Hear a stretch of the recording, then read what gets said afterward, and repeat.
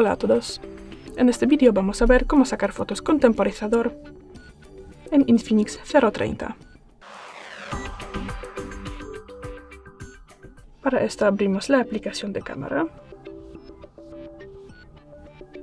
Y tras eso vamos a abrir los ajustes.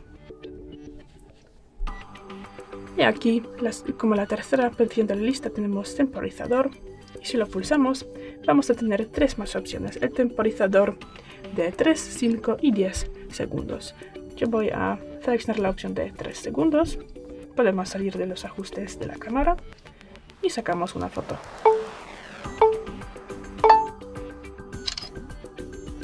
Y podemos ver que el temporizador funciona bien.